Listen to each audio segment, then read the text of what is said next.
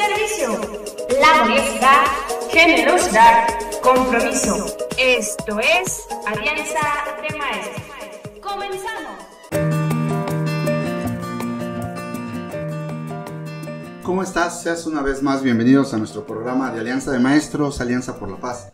Yo soy Carlos Aguirre, director de esta institución, y me da mucho gusto una vez más estar frente a este micrófono compartiendo contigo el tema que hoy vamos a realizar.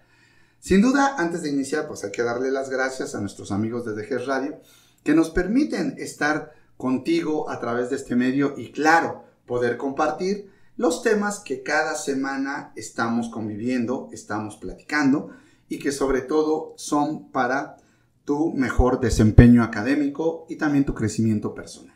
Pues bueno, el día de hoy quería compartirte un tema que curiosamente cada vez lo hemos estado observando que se está volviendo una constante que hay que atender y que sin duda necesitamos poner atención.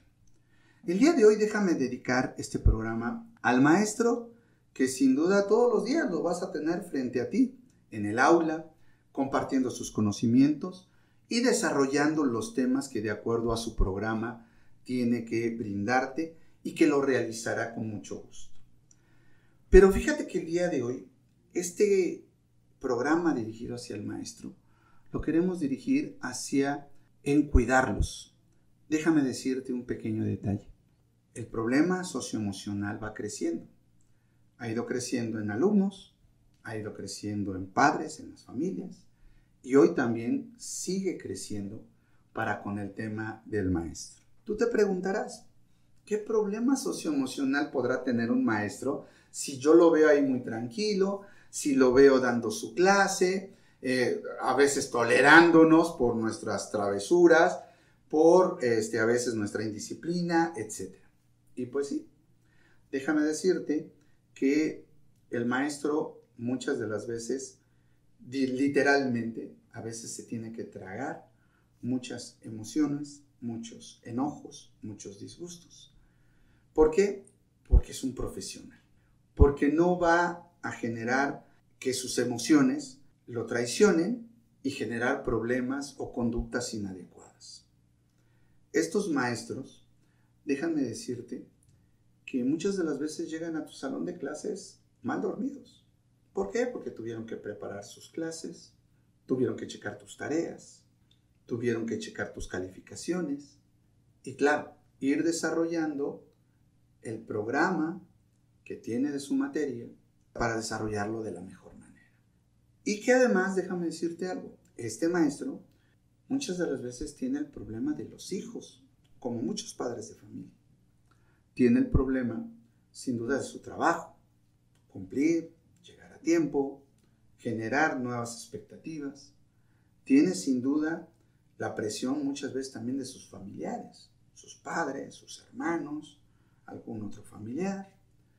Tiene sin duda también que enfrentar aquellos momentos en que a veces en su dinámica personal tiene que enfrentar a sus problemas y que estos problemas muchas veces también le pueden generar varias noches de insomnio.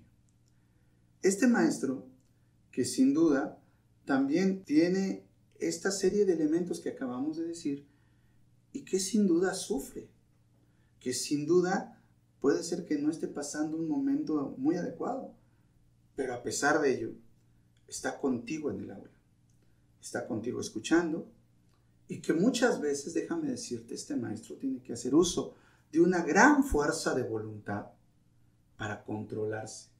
¿Por qué razón? Digámoslo claro, porque a veces hay alumnos que son no latosos, lo que les sigue.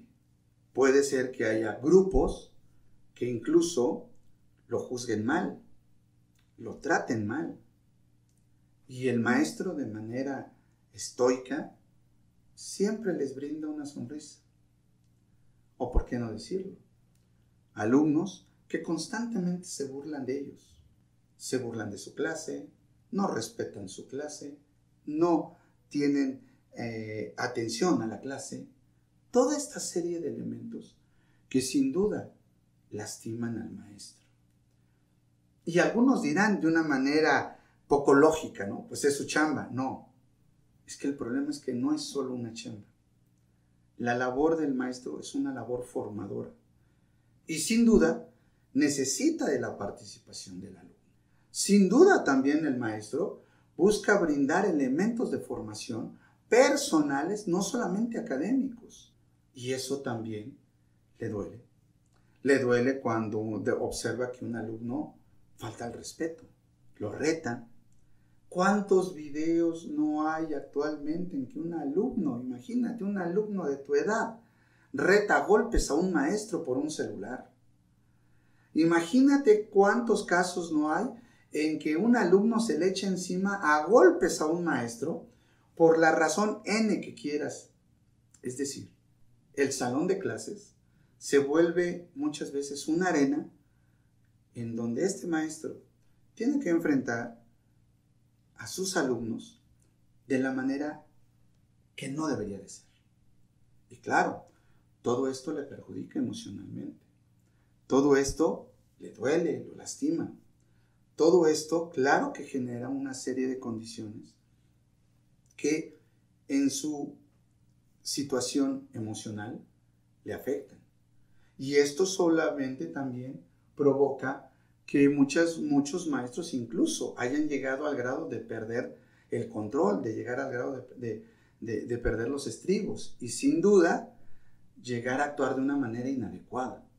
Pero no todo puede ser la culpa del maestro. Ahora imagínate, lidia con sus alumnos. Tiene que controlar, tiene que superar la dinámica de los alumnos que muchas de las veces desafortunadamente son poco educadas. Para llegar también con un padre de familia que le exige el cumplimiento de su obligación, ¿sí? que le exige que haga milagros con su hijo, milagros que él no ha podido hacer y que quiere recargar la responsabilidad en el maestro. Padres de familia que en vez de llegar y decirle, profesor, ¿en qué le ayudo con mi hijo? No, es cuestionar, es decir, usted no está cumpliendo, usted no está haciendo lo que debe, no enseña como se debe, en fin. Fíjense nada más un dato muy curioso.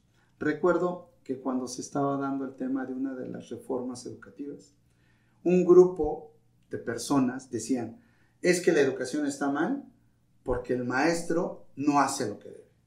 Y claro, estamos conscientes que puede haber maestros que no hacen lo que deben. Pero son inmensamente la mayoría los que sí hacen lo que deben y sobre todo hacen más allá de lo que incluso se pudiera, se pudiera esperar.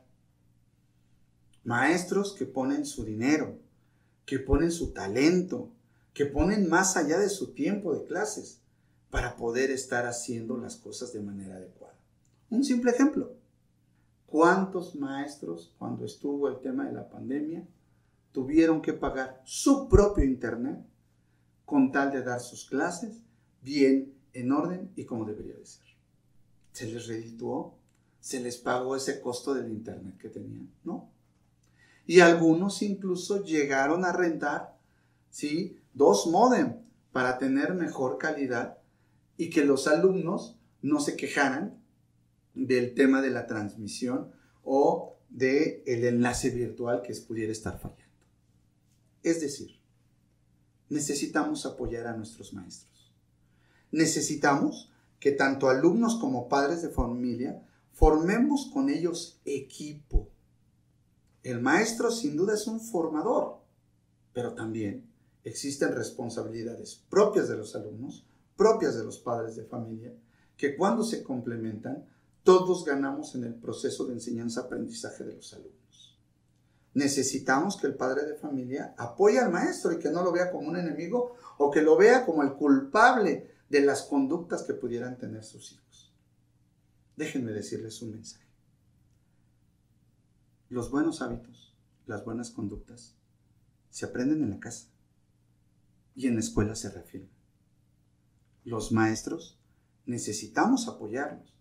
Y más ahora que entramos en este proceso de final de curso, en donde en vez de generar condiciones de violencia, de agresión, de, eh, de, estar discutiendo o de quererles o de quererles emboletar una responsabilidad que no le tocan. No, lo que necesitamos es apoyarlo. Porque vuelvo a insistir, este maestro que siempre llega con una cara sonriente, que siempre trata de estar lo más en paz en el salón de clases contigo, tiene una vida, tiene sus problemas, tiene sus acontecimientos que muchas veces tú los desconoces y que desafortunadamente él los enfrenta solo. Necesitamos generar una gran alianza, ¿sí? Una gran alianza de no violencia, sí de apoyo, sí de empatía, sí de solidaridad, sí de fraternidad con el maestro. Necesitamos generar una gran alianza en favor de aquellos maestros y de todos los maestros que sin duda se brindan en tu aula y fuera del aula para hacer de ti una mejor persona. Queridos alumnos, queridos padres de familia, realicemos juntos esta alianza por los maestros. Estamos cercanos a un fin de curso. Hagamos el esfuerzo juntos por mejorar calificaciones, por mejorar la conducta. Hagamos un espacio adecuado en donde nuestro maestro se sienta cada vez más a gusto de estar con nosotros, de podernos brindar conocimiento, de podernos formar para ser hombres y mujeres de bien. Pero lo más importante, que esta gran alianza sea para que Él se sienta acompañado, para que Él se sienta apoyado, para que Él pueda enfrentar aquellas situaciones más allá del aula y que no se sienta solo. Porque les voy a decir algo. En la medida en que tengamos maestros con un mayor vigor, con una gran alegría, nos ayudarán a sembrar mayores esperanzas, nos ayudarán a formar mejor a nuestros hijos y a nuestros alumnos. En la medida en que el maestro sienta ese gran apoyo de la comunidad educativa a su alrededor, en ese sentido estamos garantizando un maestro, sin duda, transformador de la sociedad y juntos apoyamos una cultura de paz. Hagamos esta gran alianza por los maestros. Hagamos esta gran alianza por una fraternidad entre los alumnos, los padres de familia y los maestros. Vamos hacia una recta final del ciclo escolar. Terminemos bien, hagámosla bien y sobre todo apoyemos a nuestros maestros. Ellos nos lo agradecerán y eso se verá reflejado en el amor hacia nuestros hijos, hacia nuestros alumnos. Hagamos esta alianza.